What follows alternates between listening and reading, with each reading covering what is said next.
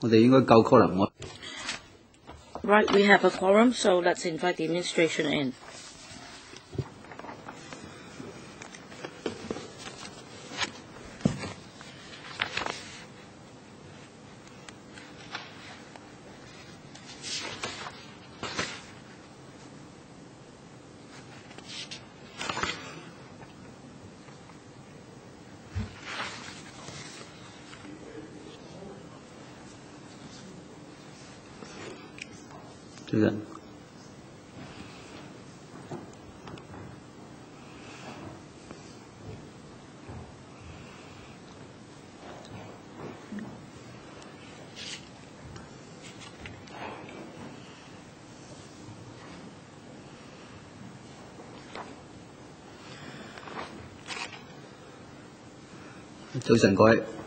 Good morning, everyone. This is the appointed time, and we have formed the quorum. And may I welcome from the administration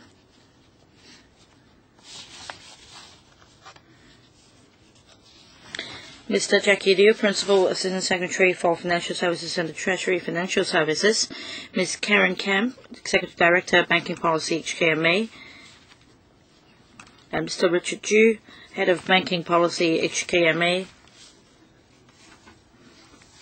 and Mr. Ng, Government Counsel, DOJ, and Mr. Michael Lam, Senior Assistant Law Draftman, and Ms. Samantha Yao, Senior Manager, Banking Policy, HKMA. So, welcome everyone to this second meeting of the subcommittee. After the last meeting, right, in relation to the last meeting, uh, we are going to follow up on several issues uh, raised. And last time, members agreed to invite the uh, Banking Advisory Committee, the, uh, the Deposit Taking Committee Advisory Committee, the uh, Hong Kong uh, Restricted License Bank, and DTC Association, and the HKAB to submit their written uh, submissions on the three subsidiary legislations. The reply from these organizations have been forwarded to members under paper CB bracket 1 175 slash 1213 bracket 123. I uh, believe that members have noted the papers. Now, apart from receiving these submissions, I'd also like to reflect some of the views from the banking sector. Now, on the implementation of Basel III and the relevant requirements on the, uh, the 1st of January 2013, there have been reports that um, there is a delay, and some organizations have said, said that the FSA uh, issued a declaration on the 1st of August this year stating that it's impossible for the UK to implement Basel III on the 1st uh, of January 2013 and for the United States the Federal Reserve uh, also issued a joint declaration on the 9th of November stating that because of various views received there is uh, no expectation of the implementation of Basel III on the 1st of January this year. And this is also the concern of our banking sector, and they'd like to express this view through me. And that is, we should not be uh, one of the first places to implement Basel III we should not be pioneers. And I'd like to reflect this view on behalf of the banking sector. I'd like to ask the administration for any response, Mr. Liu. Uh, I'll defer to a representative from HKMA who would like to Yes, Ms. Kemp. Uh, first of all, I would note that the Basel Committee itself has not changed its implementation date. For the first phase of Basel III, that remains the 1st of January 2012. Uh, other Asian regulators are poised to go ahead on the 1st of January 2013. Sorry, I said 2012, I meant 2013. Uh, so, for instance, Singapore has issued its rules, Australia has issued its rules, the mainland has issued its rules. So, uh, jurisdictions are moving towards the 1st of January 2013 date. We are aware that the US announced on the 9th of November that there would be some delay in the US. However, in their announcement, the US uh, took care to refer to the fact that they take their international timing commitments very seriously and are working expeditiously to complete their rulemaking powers. Uh, the, the, the, level, the, the, US has already undergone uh, a level two assessment by the Basel Committee, so its notice of proposed rulemaking and its proposed rules have been reviewed for compliance and the report that was published indicated a high degree of compliance with Basel III. So the US are, are moving steadily towards the implementation of Basel III. Um, in terms of, of the, the capital held by the banks, even though Basel III is not actually in place in the US, um, the, the large banks that are included in the Federal Reserve's stress testing program uh, must show an ability to hold Tier 1 common risk-based capital akin to CET1 under Basel III of, of 5%. So even though Basel III is, is, not in, is not in force as such, the banks in the US are moving towards the position where they will be in, in line with Basel III. Um, and also on the 9th of November, the US announced the, the 2013 stress testing program, uh, so that this, this, this process is going to continue going forward. Um, for the EU, um, again, we are aware that there is uh, some, some delay. Uh, there is a political process to be undertaken within the EU, and there is a trialogue uh, discussion going on between the Parliament, the Commission, and the EU Council. Um, on the, the 13th of November, it seems that there was a meeting of the Council for Economic and Financial Affairs um, where they discussed CRD4, which is the EU version of Basel III and uh, they, there, there was a, a, a press release that referred to a commitment to reach an agreement with the Parliament before the end of the year. So the, I think the, they still uh, intend to reach political agreement on CRD4 within this year, and then it will be a question of uh, implementation next year. It's obviously not possible on the 31st of December to, to, to, make an agreement and have the banks implement immediately from the 1st of January. So there will be a lead in time. But so far as we are aware, both the EU and the US are moving towards Basel III implementation, Chairman. Okay. Oh, All right, Mr. Tien. Yeah.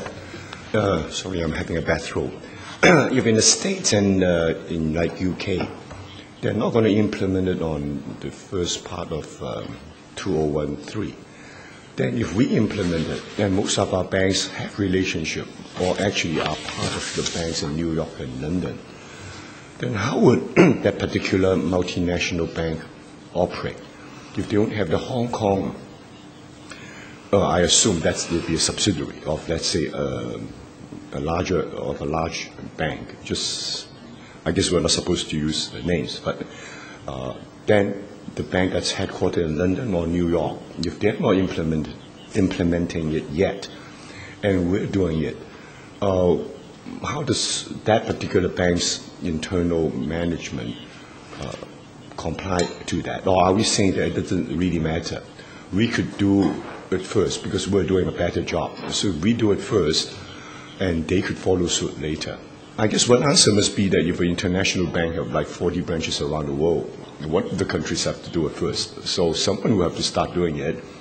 And if they all do it and uh, the UK or London, New York does it later, they won't have trouble uh, implementing it. But I guess the chairman's question is maybe a lot of Hong Kong uh, people would ask, why do we want to be ahead of New York or London? After all, they're still the leading financial market in the world. I'm just talking New York, London. And it seems the chairman said that both London and New York will not be implementing it uh, full steam ahead, uh, full steam ahead on January 31st? Could we at least go at the same pace as the New York and not be ahead of them? And if we do it ahead of them, are there any advantage to us? Maybe uh, reputation-wise, you could say we're leading New York, London, but other than that, in real terms, are there any benefits? Uh, thank you, Chairman. Ms. Kemp.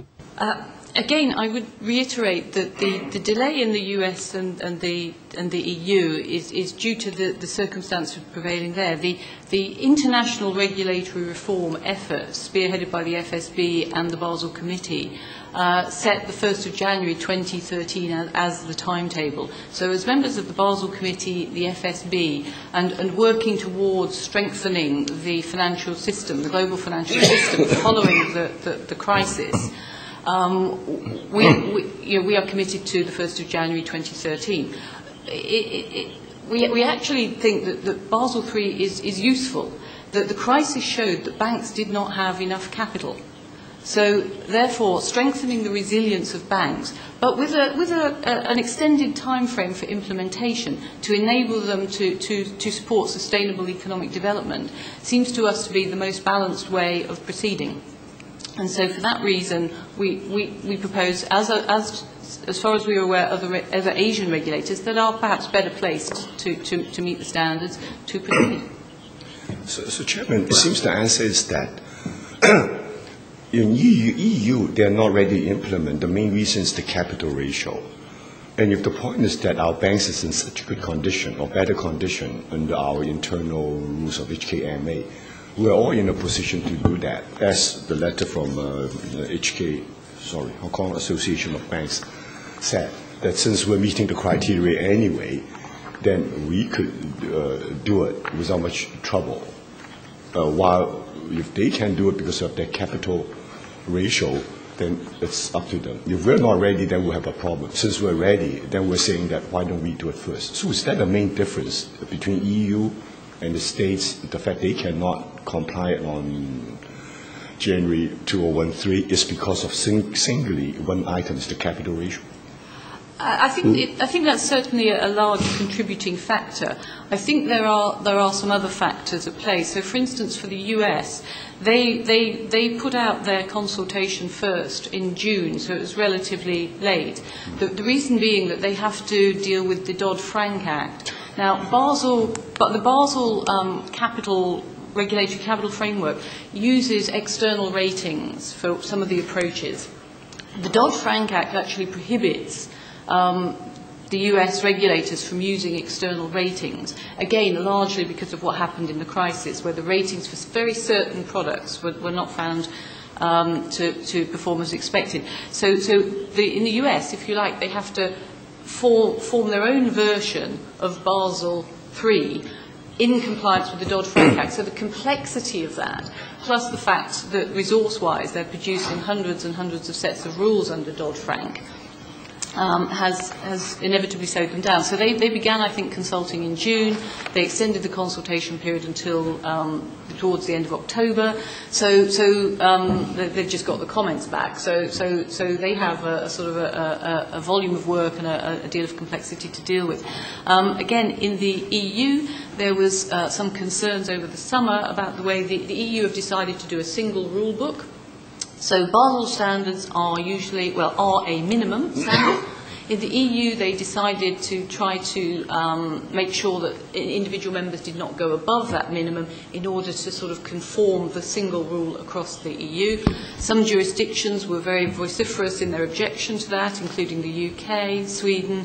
So they had to come to a, a- a compromise solution on that over the summer. Um, I understand also that for some reason within their, their capital requirement they have bonus restrictions which have nothing to do with the capital but have gone into there, so there's a, a political element to that. So I think all of these combined factors, plus frankly the fact that they're working on banking union as well, at the same time have, have sort of slowed down the process in the EU. So again, they have competing demands upon them that are coming into it. So capital is one thing, but there are, I, I think, uh, some surrounding factors that are also militating towards delay. Uh, Chairman, if members are not uh, have, have any specific question to ask yet, may I continue with okay. two short ones? Um, okay. okay. Uh, two short ones. Please go on. First one is we have two submissions. It's the DTC Association and the Hong Kong Association of Banks. Uh, we, we have two copies. Are we saying that when we want to get the industry's view, these are the two main sort of associations that's related to this whole Basel III arrangements, and there's no further association that might have a view that we had not written for them for view or they had not responded. These are the, the two major tools. Yes, these are the- so the two major. And then on the HK uh, Association of Banks, it seems their reply is a bit longer. Uh, they're saying, for example, in paragraph two, in general, we're supportive of the principle of that topic. It seems they, they use the word supportive, they use the word principle. Uh, they follow, they say, we reinforce Hong Kong position. Then at the bottom of that page, they're saying between different banks according to the individual circumstances such as size, financial position, business and group nature. It seems they do think that even if we do it in Hong Kong now, you have to base on these, blah, blah, blah. Then some will have an easier time complying with it. Some might have a, a, a difficult time complying. So would our position be that once this is set up, we do give them a sort of a grace period, I don't know, six months, nine months, so that the big banks that meets all these will have an easier time to do it, and the other ones will have a chance uh, to do it? Or will you say that if they don't meet it by a certain deadline, in certain clauses, they will be penalized? Uh, it, we, we've been um, talking to the banks for a, a long time on, on Basel III, and they have already um, capital, plan, capital planning arrangements. So they have been working towards compliance with these, uh, the, the, the uh, content of this set of rules with effect from the 1st of January 20, 2013. Um, I think that the, the point that HCAB are, are making is that, it, that there may be variation across banks if, if you have a, uh, a big derivative uh, operation, then you will be affected by the, some of the new charges relating to derivatives. If, if, your, if your capital base has less common equity, then you may, need, you may be looking to raise more common equity. Although it, with Hong Kong banks, they tend to hold a lot of common equity. So the new common equity tier one ratio should not be a problem for them. Oh, uh, Mr. Leung. Perhaps I would also follow up on the letter from the Hong Kong Association of Banks. It seems that uh, they are making two very interesting points that I do not understand how they would work out in practice. The first point that they made is the one under uh, para 2, when they made the point that uh, they believe it is imperative that a level regulatory playing field is created and that the Basel III proposals are implemented globally. Over the page, they are saying, uh, top of the page, that uh,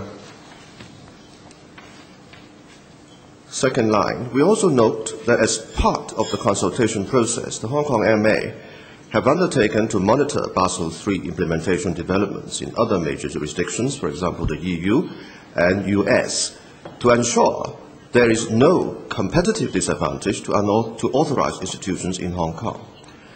Now, perhaps the chairman can also enlighten me on this. What if, as a result of the monitoring process, some banks or the Hong Kong Association of Banks as a whole comes to the view that by implementing Basel III uh, in Hong Kong on 1st of January 2013 would place Hong Kong banks in a disadvantage when competing with EU banks and US banks. And they are not satisfied that a level regulatory playing field is being created. Can they be exempted from compliance with the rules that we are making today? Thank you, Chairman. 刚才 Th- Thank you, Chairman. Um, No, they they won't they won't be exempted from compliance. But, So you, you are correct, sir. No, what, what, what we've... Uh, we, what we've said to um, the Hong Kong Association of Banks as the consultation process has unfolded is that we will monitor the way in which implementation takes place in other jurisdictions. So as we discussed last time, you have the Basel text, but each jurisdiction has to transpose that into its own legal framework. And so um, in, in sometimes in that transposition, changes may be made. We've made a few ourselves that, that, that we've outlined. Uh, other jurisdictions may do the same, and we would be interested to see if any of those changes um, materially change the, the, the effect of Basel III on their banks. So it's an ongoing, it's an ongoing process. Um, so we, we have been looking uh, at the, the work that the Basel Committee itself has been doing on the US and the EU uh, in terms of the, the, their, their assessment of compliance on the draft rules, and there will be a follow-up to that when the final rules are issued. So it's, it's, an, it's, what I would, it's an ongoing process. It's not necessarily the case that if the EU changes something, then we would automatically follow suit. We will consider what is suitable in Hong Kong, whether it's a major disadvantage, whether from a prudential concern we think we should still stick to the Basel III uh, principle, or, wh or whether we should we, we should introduce some flexibility. If I may follow up. I think this is the point that the Honourable James Tien has been following.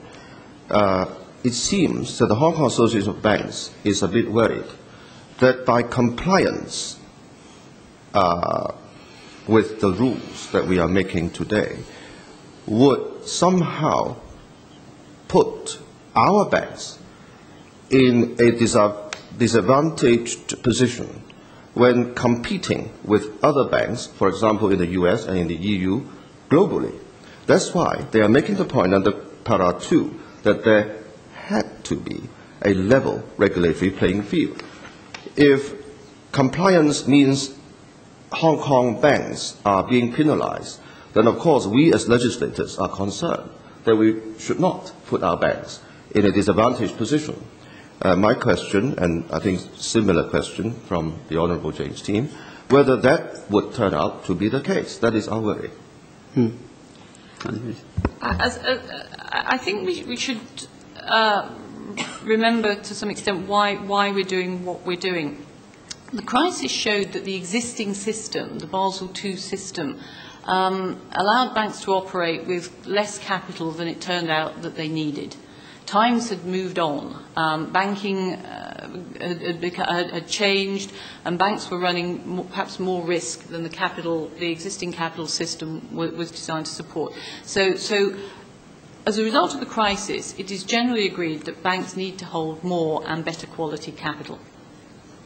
But whilst in a crisis situation you could make the crisis worse if you implement everything immediately and say, in a perfect world, this is what I want, now, now, now do this. So, so the Basel III process is, is designed to be a balance. It's designed to raise the, the level and quality of banks' capital, which we think is a good thing. It's designed to do this over an extended implementation period so that uh, that does not, the, the raising of the new capital, the, the, the new standards, do not impede upon banks' normal credit intermediation activities. So, so we think Basel III is a good thing. So it's not something that, that, that we're just following because everybody else is following. We think it's good.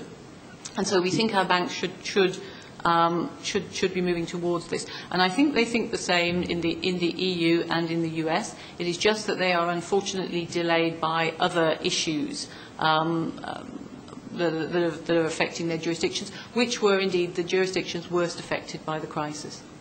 Uh, Chairman, with your permission, I think we are talking at crossed purposes here. Um, uh, they, of course, I I understand fully what uh, Ms. Kemp is trying to tell us, that this is for the good of everybody, that uh, the Basel III more stringent uh, requirements of capital standards, etc., should be applied to the banks in Hong Kong. Uh, but, Chairman, I must first confess that I'm no expert in banking operation. Uh, the Chairman certainly is. But uh, it seems that from the letter that we are looking at, dated the 15th of November, from the Hong Kong Association of Banks, they are worried, as experts in the banking operation, that uh, a level regulatory playing field may not be created on the 1st of January 2013.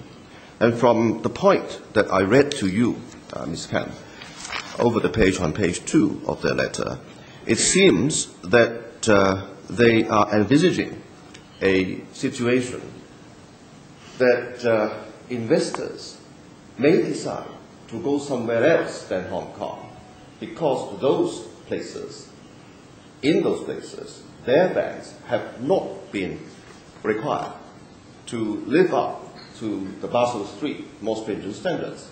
So as an investor deciding on which market or which or banks in which market to go to for investment purposes, for what they want to achieve, they may take advantage of this window of difference between the regulatory framework in Hong Kong, which is Basel III compliant, and some other markets where banks are not yet required to uh, live up to the Basel III standard. I think the point that uh, worries us, uh, and apparently the Hong Kong Association of Banks, was that point.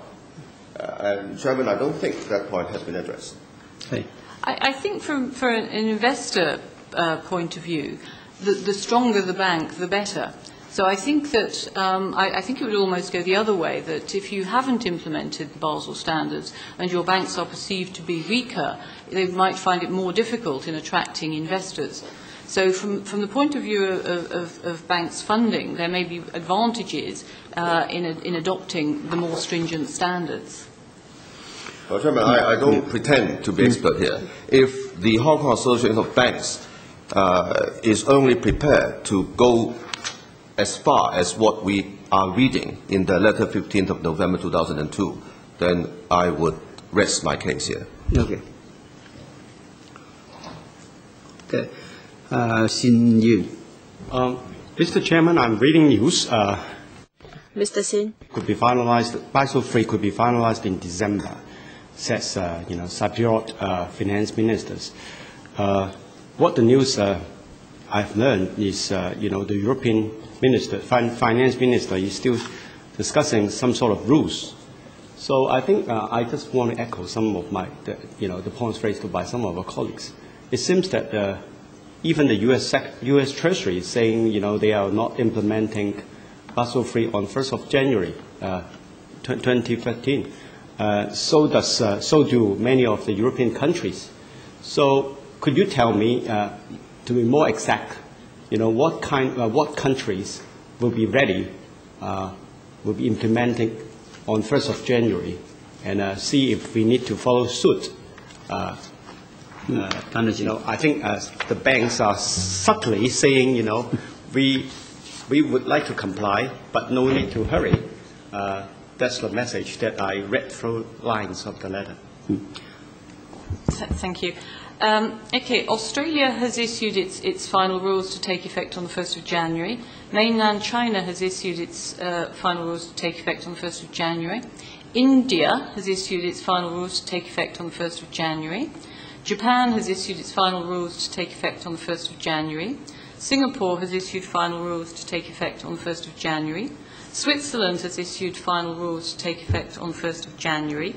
Uh, Canada directed its banks uh, in February 2011 to meet the new CET1 standard as of the 1st of January. So those ones we know are definite. Um, Korea, we know, issued a draft regulation in September 2012. Um, and I think Indonesia is still consulting uh, on, they, they issued a draft in June 2012. May I focus on several countries like the UK, uh, the United US, States. have their uh, you know, more exact timetable? uh, it, uh, how about Germany, uh, you know, these three big countries, for example? Okay, the, the, the UK and Germany are obviously bound by the EU timetable in the sense that they will implement in their jurisdictions CRD4, the, the European uh, Directive, Capital Requirement Directive. So they, they, it's difficult for them to implement before CRD4 uh, is, is finalised. So they're bundling with the European Union? Yes. Okay. So, but having, having said that, both um, of those, we, uh, a couple of weeks ago we saw the Germans issued some um, preparatory legislation, so they're waiting for CRD4 to come into effect. And I think the UK also issued issued some transitional provisions for consultation. So they are preparing for CRD4. But for both of those jurisdictions, it will be CRD4 that, comes, uh, that, that, that they need to come into effect first. Um, as I said earlier, for the USA, they have announced the delay, but they, they were very um, careful to, to note that they are very cognizant of their uh, international uh, timing commitments and that they are working expeditiously to finalise the rulemaking process. But, but no firm timetable. Okay.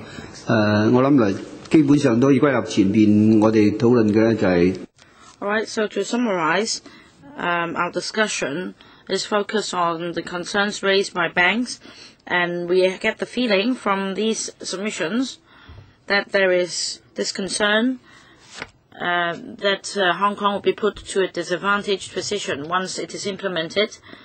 So I'd like to invite the HKMA or the administration to give us information on the timetable for the um, proposed implementation of Basel III in various countries and jurisdictions. And we have had a thorough discussion. I believe we have relayed our concern of the banking sector to the administration and the possible um, disadvantages that will face Hong Kong if our implementation times are different from other countries. So, um, without causing any delay to the scrutiny of the subleg, um, I'd like to uh, ask the administration and the HKMA to reconsider uh, any alternative method in implementing the Basel III, or uh, if uh, there is any second thought on the timetable of implementation. And this is uh, something for the HKMA and the administration to consider. Mr. Tien, uh, I agree with you, Chairman. But on the other hand, can we consider asking our Secretariat to send a letter to HKAB and ask for its response in relation to the points raised by us today, because they seem to have uh, be implying uh, this, but we need to uh, get a clear message from them. I'm talking about the two uh, paragraphs, um, level regulatory playing field and imperative, implemented globally. Well, it says implemented globally, but it didn't say all, uh, at the same time. So can we write a letter to HKAB and ask for their response? Uh, I wonder if Secretariat can do that. We can send a letter and invite the HKAB to clarify the few points raised in its letter, in particular a level regulatory playing field and the implementation of the cap, uh, capital requirements in UK and US we can ask for their clarification. All right, uh, we should do that, and I believe that the administration and the HKMA are clear about members' concern. So uh, let's continue with the scrutiny, and uh, this supplement can be made later on. So, in relation to the scrutiny, any further proposal from the administration, please brief us on the relevant paper. Mr. Liu. Thank you, Chairman. At the last meeting held on the 5th of November, members asked the administration to provide another paper to the subcommittee to clarify two points. One is in relation to banking specification of multilateral development bank amendment notice 2012, uh, whether there are appropriate Chinese translations for the banks and bodies specified in section 2 of the notice, and the administration and the HKMA were asked to provide a paper setting out the major differences and modifications in the rules for implementing Basel III in Hong Kong from the relevant um, standards promulgated by Basel Commission, Committee.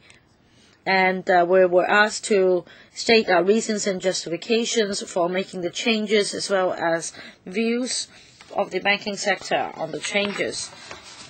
Now we have already uh, issued a paper uh, in relation to the uh, these two points. Now, in relation to banking uh, specification of Multilateral Development Bank Amendment Notice 2012, last time a member raised the question that while scrutinizing this notice, in relation to the translation of certain bank names, such names were not included in the uh, notice. And I'd like to stress that the amendment is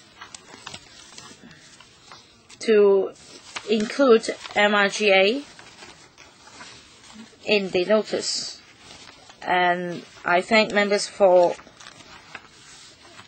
raising this issue, and that is some of the English names of banks under this uh, multilateral development bank have not been translated into Chinese. And I have sought legal advice, and uh, it is suggested that there is no uh, impact on the operation of the rule. And we're still uh, considering this point because uh, during the last time we have not um, discovered any new Chinese names or Chinese translations of the names of banks, and we will confirm uh, with the banks, if necessary, uh, their official Chinese names, and um, once we finish the inquiry and review, the administration undertakes that uh, through statute law amendment bills in the future, the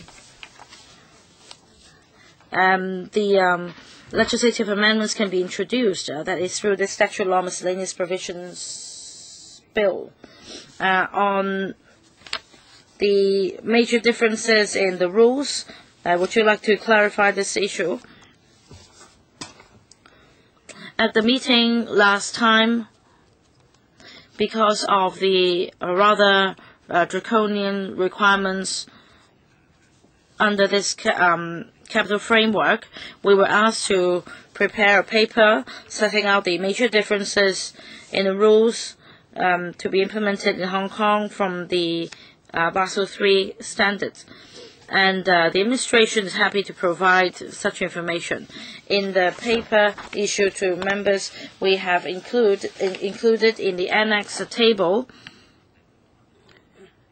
stating the difference uh, between the banking capital amendment rules and Basel III text. Uh, this will help our scrutiny of the text. Yes, Ms. Kemp? Um, the, the main difference um, between the uh, banking capital rules and Basel III is that Basel III will allow unrealised gains on property revaluation to be included within common equity tier 1 capital without limit. Um, the banking capital rules, in contrast, allow recognition only in tier 2 capital with a 55% haircut. So only 45% of property revaluation gains can be recognised and only in the lower tier of capital. Um, This reflects the existing situation under our existing capital rules in Hong Kong. Um, and we've chosen to, to follow this route rather than adopt the Basel III standard due largely to concerns about the historical volatility of prices of commercial property in Hong Kong. So our concern is that by allowing property revaluation gains into common equity tier 1, we will introduce uh, significant volatility into the common equity tier 1 ratio, which could have an adverse impact on banks' ability to support or continue lending activities if in future there were to be any rapid or significant fall in property prices. The other um, deviations from Basel III are, are more minor. Um, the next item concerns deferred tax assets and mortgage servicing rights. Uh, the, these can be recognised with, within uh, a threshold within the Basel III uh, approach, but we uh, do not propose to recognise them as capital uh, under the banking capital rules. Our reasons being that we, we have reservations about the genuine loss absorption capacity of these items. So deferred tax assets uh, for timing differences can only be reversed over time. So at best they represent uh, future potential for reducing profits tax and increasing earnings. Uh, we don't think that that is, is capital. And mortgage servicing rights are, are created by capitalising future income streams from the servicing of mortgage loans which have been sold. This is important in the United States, but they are not common in Hong Kong. And so we have no experience locally on which to, to found a judgment as to whether there would be uh, continued availability of income from mortgage servicing rights to a bank in times of stress. The, the third item in the table, Chairman, is um, uh, what I would characterise as an anti-avoidance provision. Um, generally, capital instruments are, are deducted from, from capital and, under Basel III, but a capital investment, particularly if it were to be in a connected company, um, might be characterised as a, as a loan. It could be a perpetual loan. So we included a provision um, into the, the banking capital rules allowing the HKMA to, to recapital recharacterize something like that um, uh, as a capital investment if the lending uh, institution cannot demonstrate that it's actually been incurred in the ordinary course of business. Again, this largely reflects the existing position um, under the capital rules in Hong Kong. 係 Uh, Chairman, uh, Karen, I, I hope you don't mind. You already went through three uh, items. Could we stop here so we can have a, a discussion on that? Uh, Chairman, first, I'd like to declare my interest, as I am in the property business and I do borrow banks on some of the projects I do. Karen, on the first point you, you mentioned, you're saying that under the new rule, the 55% of unrealized gain, of course, firstly, I'm asking from the view of the borrower, of the bank, the, a developer that borrows money from the bank. So are you saying that on my books, which is audited, if the property is worth so much, you're not saying 55% of that value. You're saying that if it's an unrealized gain, uh, for example, if the property was bought for 1 million and now it's worth one and a half million, you're saying that one and a half minus one, that $500,000 gain, you're only taking 55% of that as an unrealized gain. And that would be allowable under the Basel III for the bank to take the value of my property and lend me according to that value. No, no sorry, I, I, maybe I've, I've confused. So what is this 55%? So, so I, I may have confused the issue a bit. Um, what, what we're looking at is, is property that's owned by the bank. So the bank is using it, it's either using it for its branches. Not the borrowers, but the bank's own no, property. the bank's own property. So if that's being um, revalued and the value is, is, is going up significantly, but they're unrealised gains in the sense that the bank hasn't sold the property, so it hasn't got the money, it's just got a, a paper mm. gain, mm. then we are very nervous about allowing all of that paper gain into what will be the, the most important indicator of the bank's strength, common equity tier one capital. So we prefer to, to, to go with the status quo on this, which we're already doing, which is to say we will recognise 45% of that gain, so 55% is, is not counted, and we will recognise it in the lower tier of capital, tier 2 capital, So um, the, the, the, the different tiers of capital have slightly different characteristics. So the, the tier one capital is regarded um, as, as going concern capital. It should be able to absorb losses and allow the bank to continue in business. Tier two capital is perhaps more gone concern capital, so it should absorb losses upon um, insolvency. But that's not much use for the bank to be able to continue in business. So um, generally speaking, what we, we propose to stick with the status quo and not allow unrealised property gains into common equity tier one. Uh, Chairman, thank you for that clarification. So it's nothing to do with borrowers. But even in that scenario, I'm uh, sorry because maybe in Hong Kong it's too small, I have to use names. But let's say use HSBC. Their main building in Central might be built 30 years ago at this price. and now the uh, revaluation might be three times of what's it worth. So you're saying the unrealized gain is what's that's on their book. So for a new bank who just bought a building last year, then realized gain could be very small, and that 55% might not mean much. But if you take a bank like, for example, HSBC, the building here, I'm sure the current market value might be three, four times of what they were originally booked at and the book cost. So that would be a, a big haircut. Uh, is, uh, is that what we're saying that uh, we would do? Ye- Yes, essentially, what we're saying is that um, as long as the gain remains unrealised, so um, I, I believe it may have happened with property in, in the UK, if you sell and you, you, you obtain the, the, the funds, the, the money, then it becomes a realised gain. But as long as it remains unrealised, it doesn't get counted as common equity tier one capital for, for, the, for the purposes of the capital rules. And that will certainly in turn affect the borrowing power of that bank, because if that's not counted into capital, then the money they can lend up to SMEs or whatever in Hong Kong to personal mortgages, that would in proportion also be reduced because of uh, the safe, uh, the safe position of this unrealized gain, regardless of the cost. I could see the unrealized gain is one or two year, well, it's not that much. But if the bank uh, uh, had old building, that would make a difference. And may I, on the same point, ask if the bank transferred the property to another subsidiary, also wholly owned, then it could be deemed as unrealized gain. We don't have capital gain tax, so the bank can do that, and then that all becomes a realized gain. Then are you saying that 55% will not apply? Do you want to- We have an anti-avoidance provision. Would that be considered as anti-avoidance? Because you say unrealized gain, so I'm realizing it. But it's, But, but it's realised within the, the same consolidation group. Okay, that's considered avoidance, Yeah. which is the third part you just talked about. Yeah. Okay, but please comment, are you saying that that should not, uh, that could not be, uh, they could not do that? Well, we, we, we have a, a, an anti-avoidance provision that would, would, would stop that, because that, that would just be realising the gain within the group, but there's no new money that, that's actually come into the group to support the group's lending. OK， So uh, going forward, you, you will see there's 因为佢诶呢啲系讲紧重估嘅问题。 Well, you talk about revaluation.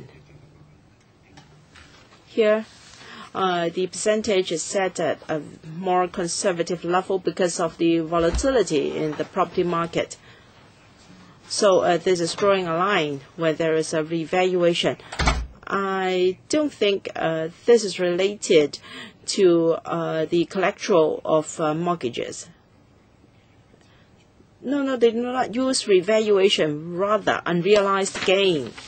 Yes, yes. Uh, the uh, difference after revaluation is regarded as unrealized gain, so it's just revaluation. All right, I think uh, we have had the discussion here. Or supplement? And the uh, uh, anti-avoidance that Karen is referring to um, uh, uh, in relation to uh, a bank as uh, example uh, given by uh, uh, Mr. Tien is uh, concerning, um, uh, for example, a bank selling a property to uh, subsidiaries and in such a way realize gain, and that can uh, is actually addressed by uh, Section 38, um, subsection 2 uh, D in the um, Basel III rules. Yeah.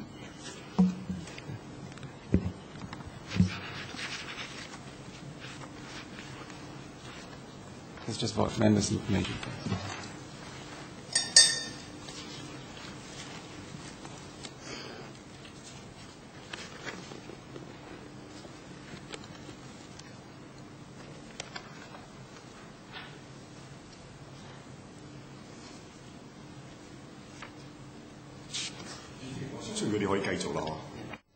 Uh, can we go on, Chairman?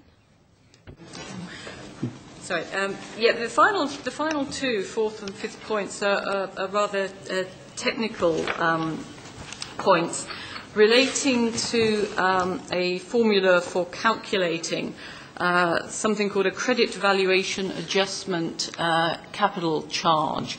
Um, during the crisis, uh, a lot of losses actually suffered by banks were not suffered from, from default of counterparties, but rather from, from the, the, the downgrading of counterparties. So the mark-to-market value of the contract with the counterparties um, fell because the counterparties were downgraded. So Basel III has introduced something called a credit valuation adjustment risk charge, so that banks will hold capital against that, that risk of uh, mark-to-market losses.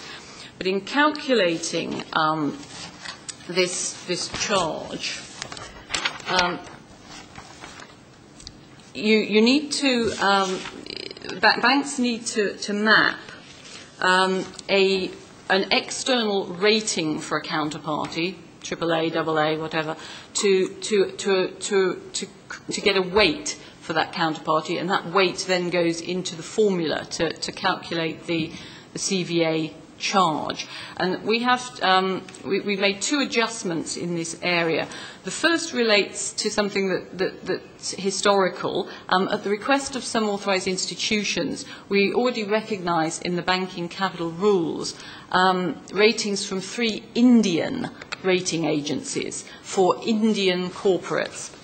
And we're mapping um, those mapping external ratings to get the weight to go into the CVA calculation, we need to accommodate those Indian ECAI, uh, those Indian credit rating agency ratings. Um, and we follow the Reserve Bank of India's mappings of those Indian uh, ratings to obtain the, the credit quality grades necessary to, to assess the risk in the existing banking capital rules. And those are slightly different from the mapping of the international rating agencies like Moody's, Standard & Poor's, etc.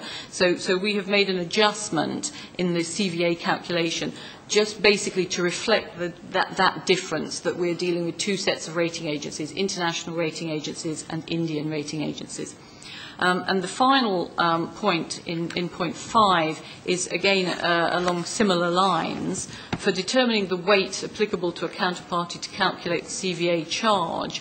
Where the counterparty doesn't have an external rating from any uh, rating agency, then um, under Basel III there's a need to map a bank's internal rating to the external rating to get the weight. Um, now, for, for banks that, that use, adopt the internal ratings-based system for calculating their regulatory capital, they obviously have internal ratings, internal ratings-based system. So they can map their internal ratings to the external ratings through a mapping scheme that's approved by us. But for smaller banks that don't use um, the internal ratings-based system, they're not IRB banks, as we say. For simplicity, we've allowed them to assign a flat weight of 1%, which corresponds to a, a triple B rating. Um, now, we, we, we've done that because we think the 1% is a sort of reasonable cost-benefit analysis, being sort of a, a fair, conservative approximation of what would be the average weight of a pool of counterparties. So it's to, to stop small banks having to develop a sort of a rating system so that they can have an internal rating to map to an external rating to get, to get the weight for this particular calculation. So we've gone for a, a flat 1%. We've consulted the industry about this, and the industry have uh, indicated that that is acceptable to them. So it's a bit technical. OK。咁啊，主要嘅差异已经诶即系 So uh, the major differences between the rules and uh, the Basel III requirements uh, have been uh, set out in the table. There are mainly five. So uh, do we have to go on with the clause-by-clause scrutiny of the English text? Not necessary? No.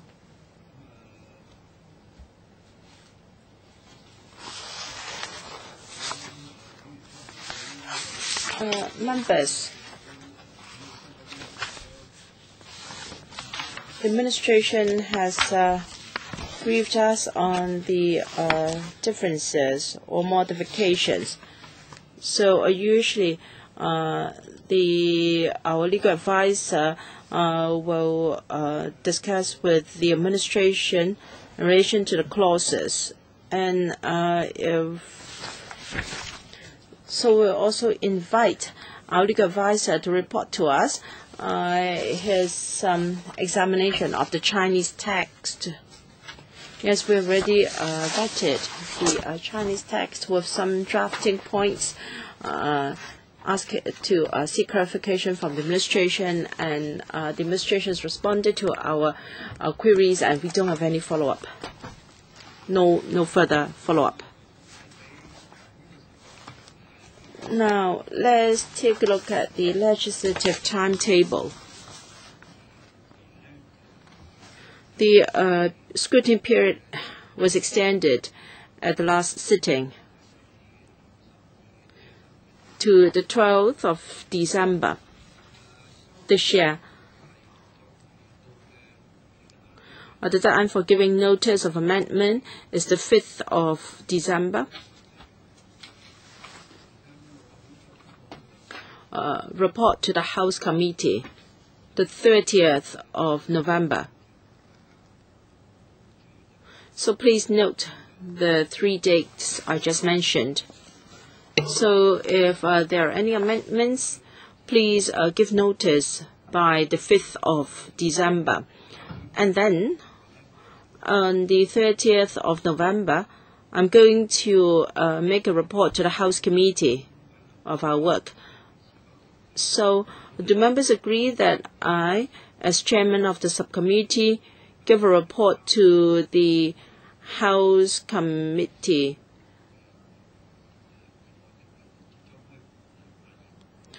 uh, so that I can uh, brief the House Committee uh, on the work of this subcommittee. All right, if members are agreeable, I will make arrangements according to this timetable. And uh, do, do, do we need further meetings?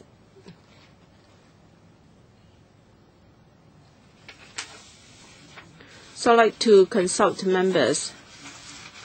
There are still outstanding papers, or actually we would like to uh, consult the HKAB further. So do we need to meet once again, or do we just uh, do it by circulation of papers? Mr. Tien, well, I think it's okay by circulation of papers. Well, that ends our scrutiny of the subleg. If necessary, we can uh, meet further.